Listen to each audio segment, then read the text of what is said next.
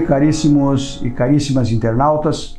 Diretamente do estúdio da Vega Produtora, sob o patrocínio do César Felizbino, que é o proprietário da Vega Produtora, nós estaremos agora, doravante, desenvolvendo uma série de programas denominados Incursões Metapsíquicas e Parapsicológicas, enfatizando naturalmente o, a, o poder da mente humana, né, atuando através da nossa consciência no nosso dia a dia. Por isso, hoje escolhemos ah, o tema Os Poderes da Sugestão. Por quê? Os poderes da sugestão, tendo ela como sendo um dos melhores meios para influir na mente subconsciente, obviamente ela, é, a sugestão é um, é, denominamos assim como um comando sutil capaz de, é, através da mente subconsciente, conduzir os nossos propósitos e a nossa vida no dia a dia. Então, o poder sugestivo da mente, quando nós intercedemos na mente subconsciente, esta só raciocina dedutivamente. Tudo que nós comandarmos, tudo que nós dissermos, ela obedecerá. Portanto, temos que tomar muito cuidado, porque desde que nós levantamos até no momento de adormecer, o, a, o mundo é muito sugestivo. São muitas as propagandas, os programas, as conversas, os diálogos e tudo isso está influindo na nossa mente subconsciente. E como nós dissemos, a mente subconsciente, ela, se você aceitar tudo o que lhe falam, como ela só raciocina dedutivamente, é, assim vai ser. Então, o que você disser à tua mente subconsciente é uma ordem determinante para que as coisas passem a acontecer. Existem dois, duas situações com relação à sugestão. Existe a heterossugestão, que é a sugestão externa, aquela que as pessoas, os ambientes, as propagandas, é, meios televisivos, rádios, etc., nos inoculam, introduzem. Não é? E por isso nós temos que ter um filtro e sabermos separar o joio do trigo. Tá? Porque, como nós falamos, se tudo que você fala para o subconsciente ou o inconsciente é for aceito, é, passa essa ideia a prevalecer. Então a pessoa muitas vezes ela não raciocina adequadamente e não separa o ruim do bom. Então nós precisamos estar sempre atentos a esse poder da, da heterossugestão, que, que é externa, e da autossugestão. A heterossugestão é, é poderosa e nós precisamos então saber fazer o filtro e separar o bem do mal. Com relação à autossugestão, é muito importante. E momentos interessantes para você desenvolver a autossugestão são quando a mente está relaxada, tranquila, quando você faz um período de relaxamento, se autossugestiona, medita, se aprofunda na tua consciência, essa, essa, essas ideias que você inocula, você introduz, são muito importantes. A autossugestão é poderosa e pode trazer muitos benefícios quando você utiliza de uma maneira é, adequada né, essas ideias que vão realmente somar no dia a dia. Então, pela manhã, quando você levanta, que você faz a tua prece, que você faz a tua elevação, e você pode visualizar para o dia um dia, um dia de muita alegria, um dia de muita produtividade, é? Assim como à noite, antes de deitar, quando você vai deitar, é, no, no, relaxamento habitual que você faz, antecipando o sono, é um momento também oportuno para você fazer determinações para que a tua mente subconsciente atue sob inspiração divina. E tudo o que você desejar e projetar poderá acontecer. Dizem que Einstein, não é? Ele ia dormir, ele raciocinava, pensava 99 vezes sobre um problema e depois ele ia dormir. E à noite, ele, durante a noite, né, em estado de, de, de sono, né, ele recebia muitas vezes intuições que no dia seguinte resolvia, fechava os 100% daquela necessidade de resolução de um problema. Então, é importante você ter boas sugestões para o teu subconsciente, a fim de que ele é, autodetermine aquilo que vai ser como você desejar e como você merecer.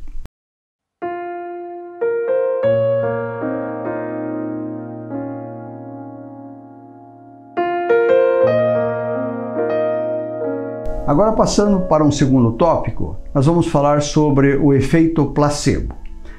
O que é o efeito placebo? É, é um, um exemplo típico de como funciona a sugestão através do efeito placebo. Num clube, de, num clube esportivo, separaram uma equipe, separaram e dividiram em duas partes. Para uma parte da, da equipe, ministraram anfetaminas, drogas, para dar mais resistência e combatividade, mais, enfim, mais, mais desempenho, né, através do, do processo da, da, das drogas ministradas e desenvolver melhor o desempenho então dos atletas. E para outro grupo foi ministrado placebo.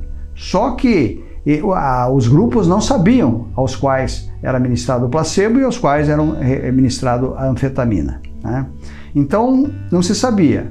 Aí o que ficou demonstrado? Que o efeito placebo daquele grupo que assim que recebeu essa, esse simulacro de medicamento, ele atuou muito melhor, com melhor desempenho do que o grupo que recebeu de fato as drogas e as anfetaminas. Esse grupo que recebeu as anfetaminas demonstrou 88% de resultado. E o grupo, o outro grupo que recebeu só o placebo, esse, é, teve um, um resultado de 132%. Placebo é uma palavra que vem do latim e quer dizer prazer. Isso foi desenvolvido não é, com relação à, à medicina, que às vezes faz esses testes para verificar o quanto a mente é muito mais poderosa do que o próprio, a própria droga ou medicamento ministrado. Eu tive um amigo que era médico e que ele sempre me dizia: Oswaldo, eu tenho vontade de abandonar a profissão, porque eu recebo clientes que eu percebo que o problema eles estão psicossomatizando uma doença e que não tem nada no físico por enquanto, que ainda não determinou, mas eles sentem mal-estar, etc. E se eu simplesmente explicar-lhes que a conduta psicológica e mental deles seria suficiente para resolver o problema, não os satisfaz. Eu preciso ministrar um placebo para que eles digam: ah, o doutor me deu um remédio. Então, quando eu, eu dou alguns medicamentos inóculos, como um melhoral, um melhoralzinho, alguma coisa assim, bem que não tenha é, maiores problemas né, e conotações negativas para a saúde do paciente, e ele acha então que ele está sendo realmente bem atendido. E se eu não fizer isso, o doutor não presta.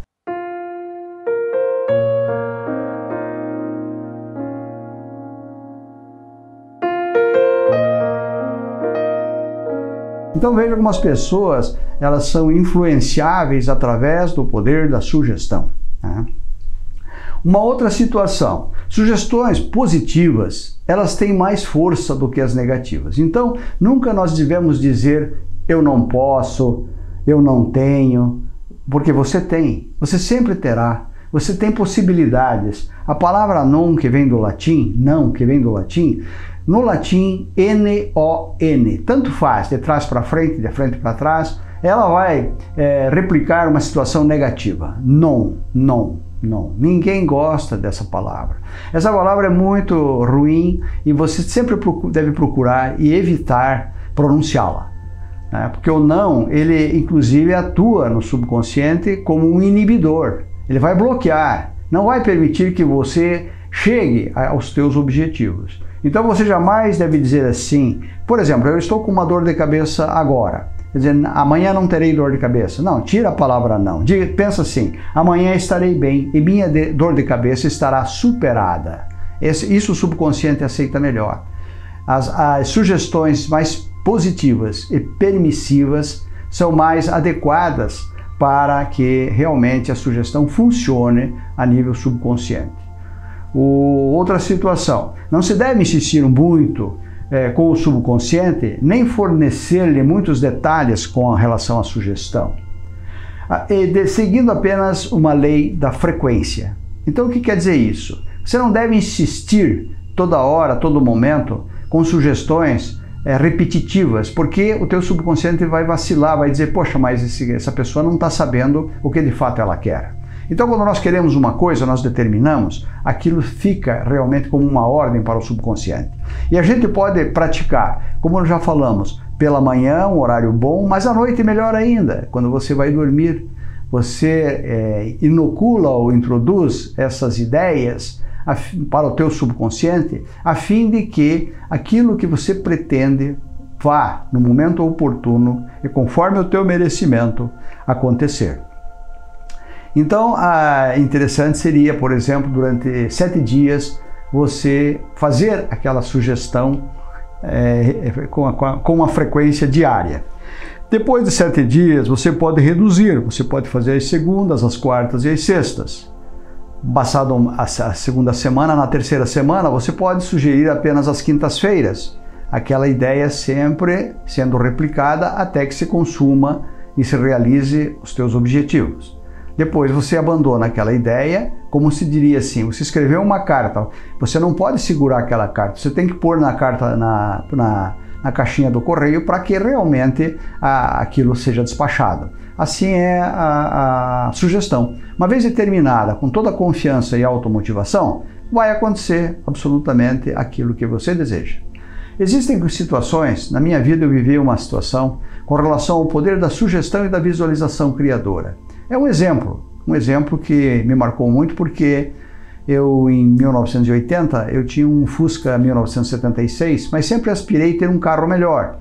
E eu, o carro da época era o Corcel 2, era lindo, né? Eu gostava e tal. E aquilo foi se inoculando, se infiltrando na minha mente, mas eu via que a possibilidade de chegar a adquirir um carro daquele era assim bastante remota.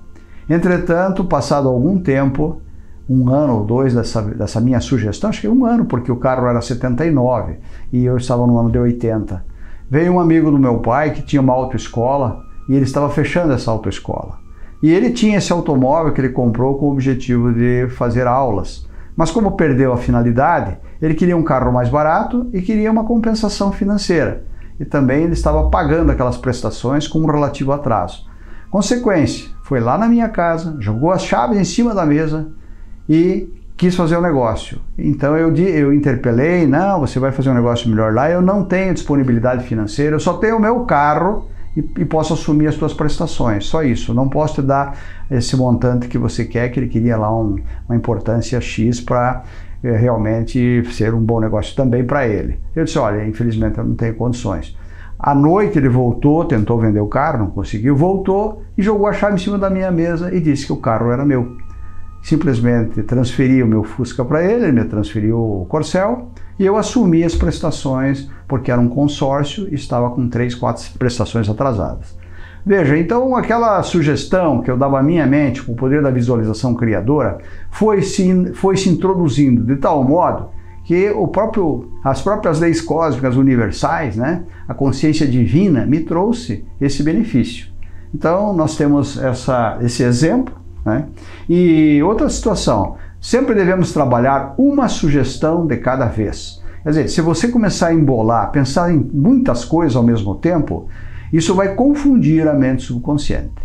Ela, ela é, muitos detalhes atrapalham. Então você tem que ter aquela ideia bem clara, bem concisa, definida, para você transmitir ao teu subconsciente, com, com o poder que ele tem, o poder divino da realização, que assim se faça. E assim será.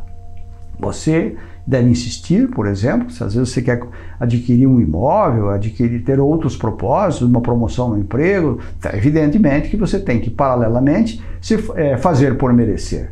Mas a motivação e a confiança serão determinantes. Quando você se apaixona por algo e coloca aquilo no teu subconsciente, assim vai ser. Né? Então nós temos esse processo da mentalização, da aquela mentalização, aquele desejo muito forte, vai levar a uma compulsão e finalmente a uma realização. Então, esse é o caminho que o subconsciente é, nos conduz através desse poder divino né, de manifestação interna da nossa mente.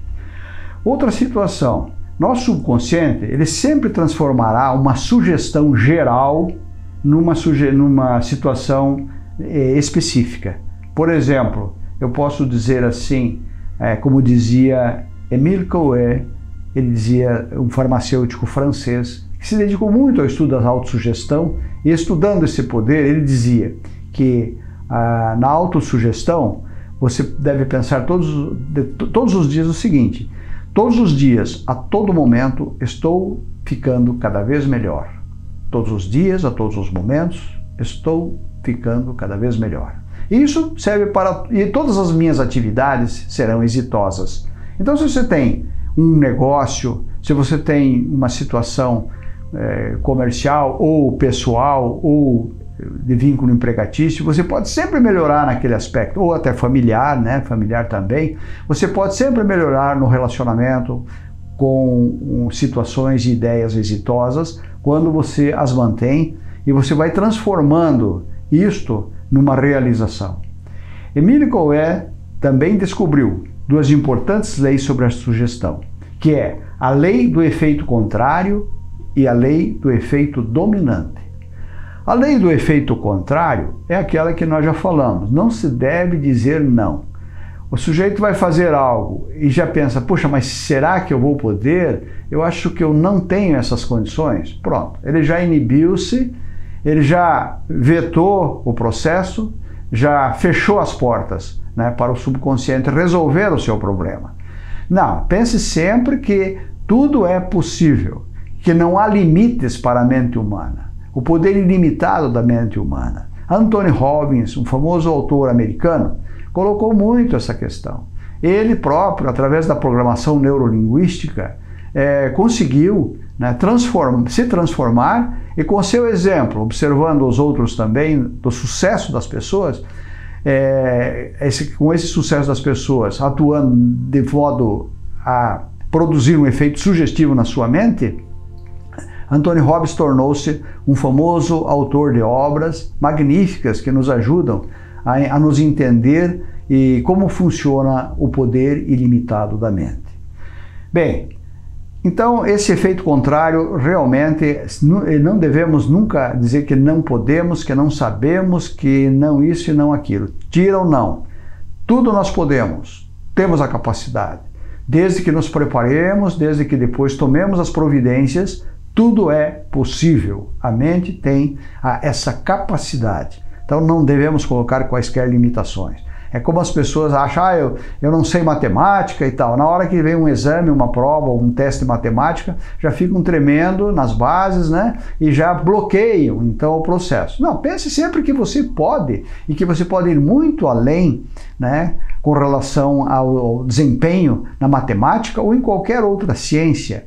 Pode ter um pouco mais de dificuldade, porque existem os mais aptos né, para as ciências, para as ciências, como se diria, exatas, outros para as ciências sociais, outros para as ciências para a arte, mas enfim, facilidades inatas que as pessoas podem ter. Entretanto, a sugestão vai fazer com que você supere qualquer problemática, adversidade ou dificuldade que você tenha. Então lembre-se, o não é inibidor. Nunca usem o não. Sempre sim, eu posso. Eu posso, com a ajuda de Deus, com a ajuda dos meus amigos, com a ajuda dos meus familiares, com a ajuda dos, dos, dos meus chefes, dos meus, né, dos meus diretores, eu sempre poderei. E se você pode, a gente subestima a nossa capacidade. Por isso, essa sugestão tem que ser sempre positiva, sempre dentro de uma permissividade que nos dê uma flexibilidade para que a mente aceite a sugestão como algo, como é como um remédio mesmo para a nossa consciência. Observem que nós, durante 24 horas por dia, estamos, é, a consciência nos acompanha, seja no nível subconsciente ou no nível consciente. No nível consciente, com as fases objetiva e subjetiva. Objetiva pela percepção exterior, subjetiva pelas reações internas à mente externa e pelo subconsciente, quando nós adormecemos e nos entregamos a Deus, porque a parte física, o cérebro, precisam descansar. Entretanto, a mente, a mente que vai atuar, é, esse subconsciente, jamais ele entra em, em, estado de dormência. Ele está sempre atuando. Todos os órgãos, toda a recomposição é, física, psíquica, está sendo nesse momento do sono recompensado. Então, o subconsciente é uma mente que nos acompanha 24 horas por dia. E podemos dizer então que a consciência, no sentido global, nós temos que ter 8 horas para descanso, 8 horas de lazer, 8 horas de trabalho. Né? Sono, lazer e trabalho. Então, é, é fundamental essa, esses ciclos né, que se complementem a fim de que você tenha uma saúde e muita paz. E a sugestão, sempre, é, tudo que eu vejo, olho, né, está é, é, influindo na minha mente subconsciente. Devo ter sempre isso em mente. Por isso é importante bons ambientes, bons amigos, né? vida saudável, vida correta, asseio, dieta, exercícios, tudo isso, bons pensamentos, pensamentos positivos, boas leituras, boa música, porque com tudo isso eu estou infiltrando na minha mente subconsciente um poderoso, poderosos ingredientes que vão contribuir para o meu harmonium, né? para essa homeostase tão desejada, para o meu equilíbrio. Quem tem o, a homeostase e com todas essas providências pode influir no sistema nervoso autônomo e, consequentemente, no sistema nervoso central, tem uma vida muito tranquila e equilibrada. É o autocontrole. Aí entra a paz profunda do, né, dos Rosa Cruzes, dos meditadores, dos yogis, e é através desses efeitos sugestivos para a nossa consciência que nós estamos alimentando um processo que nos levará à felicidade a paz profunda, o amor, a alegria, né? ao namastê. Enfim, ainda podemos falar sobre a sugestão que a melhor forma de você incorporá-la é em estados de relaxamento e receptividade. Você fica muito mais receptivo. Portanto, ondas alfa e zeta alfa de 8 a 13 Hz por segundo, né, ou vibrações por segundo, e zeta de 4 a 7, um pouquinho mais dormente. Mas em estado alfa, que você naquele, está naquele estado de vigília, acordado, mas super relaxado, tranquilo e em paz profunda, ali você encontra os elementos para trabalhar o teu subconsciente e levar é, para, para introduzindo esses conceitos e ideias sugestivas que você deseje para a sua vida. Então, dentro desse processo de receptividade, de relaxamento e passividade da mente objetiva, para o sub, favorece o subconsciente e que vai depois atuar né, com, a, com a mente global, consciente, subjetiva e subconsciente, no sentido das buscas de valores maiores, de conquistas, de realizações. Agora, também deve, devemos ter em conta, a sugestão ela não fará efeito em nossa vida se nós não correspondermos àquilo que sugerimos. Então, eu não posso realmente, se eu não tiver tudo aquilo que já previmos aqui, asseio, cuidados, trabalho, dieta, pensamentos positivos, eu não vou conquistar o sucesso, porque eu estarei contraditando com os princípios divinos da mente subconsciente.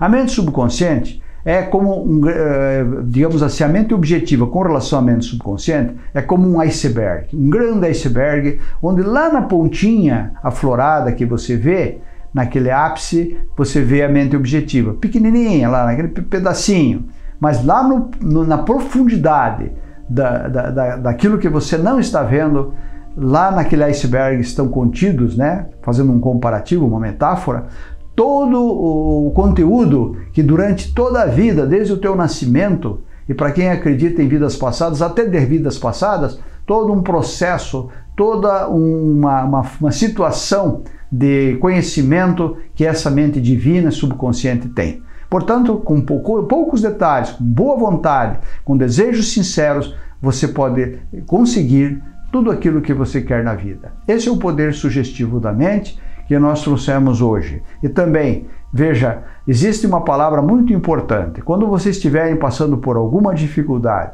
pensem, isso passa. Porque a palavra isso, ela é fundamental. Ela vem desde os primórdios da, do, da nossa consciência coletiva primária, segundo Freud, segundo Jung, esse isso, ele está arraigado no nosso, na nossa mente subconsciente. Ele já vem como uma formulação, como um protótipo, um modelo que nós devemos sempre repetir. Isso passa. E todas as dificuldades passam. Esse efeito sugestivo do isso é fundamental. Então, quando às vezes a pessoa vai num médico e o médico começa a contar, falar que não, que a, a doença não tem jeito, que isso, que aquilo, por favor, não, não é correto. Correto é pensar assim: isso passa, porque existe o neocórtex cerebral, que é a parte racional da mente, ligada ao, ao processo da, da, da, do superego, que é responsável pelas moral, pelos tabus. Então, se você e por final o isso, que está profundamente arraigado no teu subconsciente. Se você fizer essa trilogia correta, a utilização disso, qualquer conflito é eliminado, porque os conflitos começam a ser gerados aí, na dúvida, na desconfiança, num superego exacerbado, uma moral às vezes muito é, em conflito com o raciocínio, e com isso, aí realmente é, torna-se problemático. Mas as doenças psicossomáticas, elas começam por aí e também podem ser eliminadas por aí. Pensando positivamente, é, adequando ao, a, ao superego, ao moral, aquilo que você aspira e deseja, que seja assim da melhor forma possível, e o isso, isso passa. Tudo na vida tem um momento. Então, se você está passando por alguma adversidade, pense: isso passa e vai passar, e vai ser tudo como você determinar. Você tem o poder criativo da mente. A nossa mensagem para hoje ficou é, é, dentro desse processo, né?